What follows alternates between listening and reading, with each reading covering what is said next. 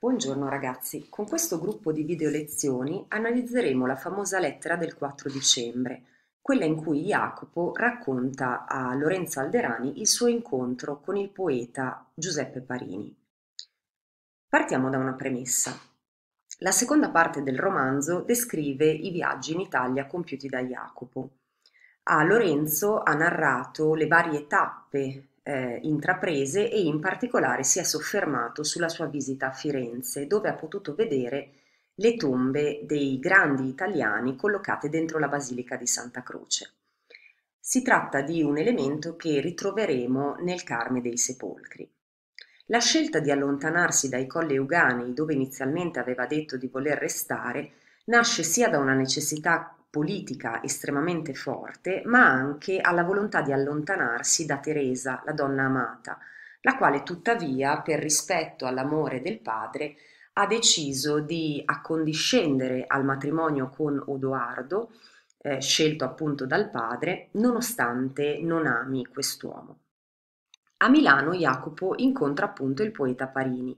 In particolare si trovano nei giardini di Porta Orientale, in un boschetto di tigli.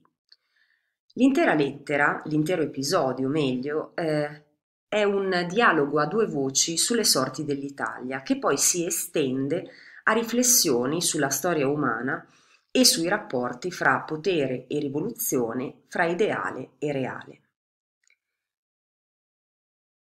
Cominciamo a leggere e poi analizziamo. In questo primo video ci soffermeremo sulla figura di Giuseppe Parini, così come Foscolo vuole consegnarla alle future generazioni e sulla situazione dell'Italia napoleonica così come viene vista eh, da Foscolo in questo, in questo periodo. Ieri sera dunque io passeggiava con quel vecchio venerando nel sobborgo orientale della città, sotto un boschetto di tigli. Egli si sosteneva da una parte sul mio braccio, dall'altra sul suo bastone, e talora guardava gli storpi suoi piedi, e poi, senza dire parola, volgevasi a me, quasi si dolesse di quella sua infermità e mi ringraziasse della pazienza con la quale io lo accompagnava. S'assise sopra uno di quei sedili e io con lui. Il suo servo ci stava poco discosto.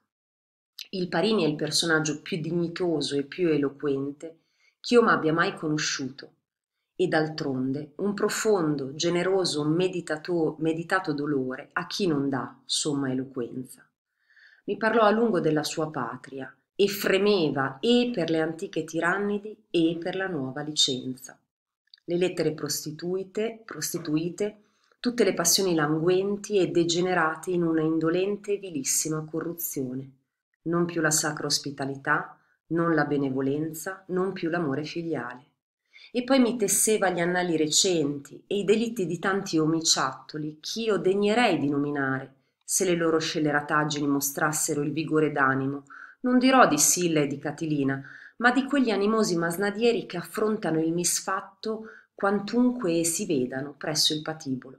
Ma ladroncelli tremanti saccenti più onesto insomma è tacerne partiamo dal ritratto di Parini Parini viene definito innanzitutto vecchio venerando, quindi un anziano degno di ammirazione, addirittura di venerazione, e poi viene tratteggiato il suo ritratto che si sofferma sulla sua infermità fisica, la sua zoppia. Un anziano che si sostiene da una parte sul braccio di un giovane, che rappresenta quasi il suo alter ego nel futuro o nel passato, la prospettiva eh, di quel ciclo delle generazioni che permette agli anziani di comunicare la propria esperienza ai giovani che potranno farne tesoro e dall'altra si appoggia sul bastone. Talvolta si sofferma a guardare i piedi storpi e quasi si duole, sembra quasi dolersi di quelle infermità e con atteggiamento umile Sembra quasi ringraziare Jacopo della pazienza con la quale lo accompagna, della lentezza della camminata, della necessità di tempi lunghi, i tempi della vecchiaia. Poi il Parini si siede su uno dei sedili e lontano eh, lo attende il servo. Viene poi detto che il Parini è il personaggio più dignitoso e più eloquente che Jacopo, e quindi Foscolo, abbia mai conosciuto. Ha vissuto un profondo, generoso e meditato dolore che non può che dare somma eloquenza. Attraverso il dolore, attraverso la sofferenza, si matura una maggiore consapevolezza, una maggiore attenzione agli altri. Quando eh, Foscolo descrive Parini, qui in maniera particolare perché ne offre il ritratto, ma nell'intera lettera, nello scambio che Jacopo ha con eh, Parini, eh, Foscolo sostanzialmente fonda quel mito pariniano che sarà poi trasmesso alle generazioni del Rinascimento. Inoltre, in questo modo, eh, Foscolo istituisce un legame di eredità di tipo morale fra se stesso, nelle vesti di Jacopo, e eh, Parini. A questa prima eh, rappresentazione di questo uomo così venerando, dignitoso ed eloquente, segue eh, una descrizione indiretta dell'Italia napoleonica. Parini parlò a lungo a Jacopo della patria e quindi qui entriamo nel tema patriottico e fremeva, prestate attenzione a questo verbo perché è un fremere di sdegno dell'uomo, eh, dell'uomo consapevole, dell'uomo dignitoso, dell'uomo che non è sceso a compromessi, dell'uomo che possiede una dignità morale superiore e che di fronte agli scempi politici freme di sdegno. Eh, quali sono i i temi sostanzialmente, gli elementi di questa Italia napoleonica. C'è innanzitutto la licenza, ossia il fatto che la libertà rivoluzionaria sia degenerata negli arbitri dei singoli amministratori, negli arbitri dei vincitori che spadroneggiano al pari dei tiranni. L'altro elemento è quello delle lettere prostituite, cioè del fatto che gli uomini di cultura vendano la propria opera, le proprie capacità intellettive al potere, come delle prostitute, si svendono, fanno pagare la propria opera in cambio di favori. C'è poi lo spegnimento dello spirito eroico. Le passioni sono languenti e quindi ormai spente, sciape, eh, non più dotate di quel furore, di quella capacità d'azione eroica che invece erano presenti nel momento della rivoluzione, quando gli ideali non erano ancora stati tradi- traditi.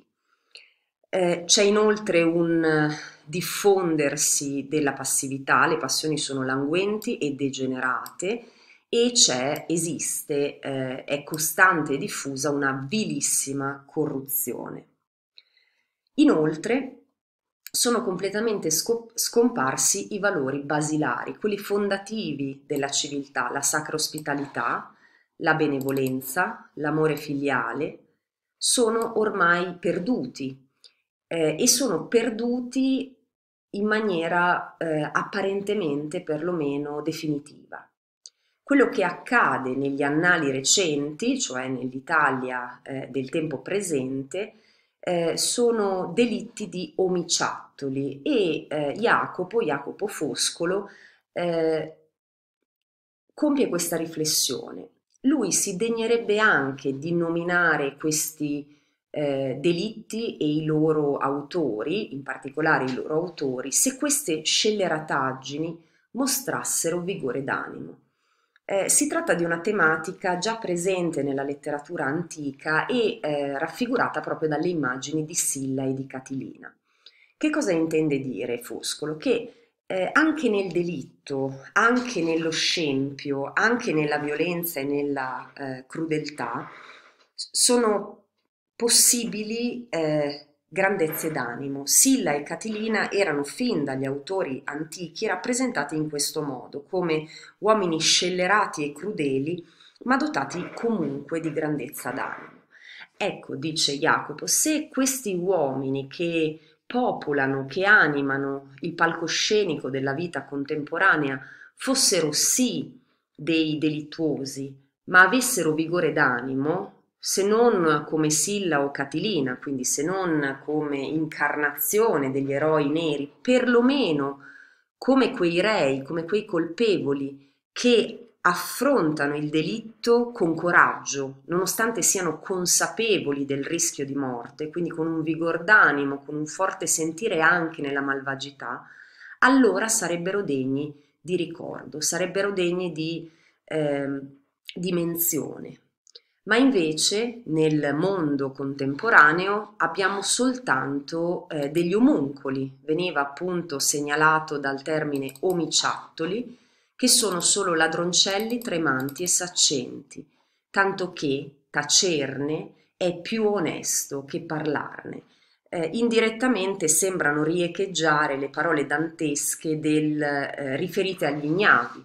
Non ragioniamo di loro, ma guarda e passa. Di fronte a omuncoli di questo livello, incapaci anche nel delitto, anche nella crudeltà, di dimostrare coraggio, di dimostrare grandiosità, allora è più dignitoso, più morale tacere i loro nomi, non soffermarsi nemmeno a parlarne. La discussione procederà ampliandosi all'interno appunto di quella tematica sulla, sulle sorti dell'Italia, sui rapporti fra potere e rivoluzione e sul, in generale sulla storia umana. In particolare i due affronteranno anche la tematica del suicidio, che sappiamo sarà l'atto estremo, il gesto ultimo compiuto da Jacopo. Eh, chiaramente di fronte al suicidio i due avranno opinioni differenti, non solo perché eh, Jacopo è un giovane mentre Parini è ormai un anziano, ma perché dobbiamo ricordare che Parini era un sacerdote, quindi un uomo di chiesa che non può che eh, guardare al suicidio come un peccato di una gravità eh, enorme. Mentre per il laico Jacopo il suicidio è invece, lo abbiamo già detto, un'affermazione di sé. Affronteremo queste tematiche nei prossimi video.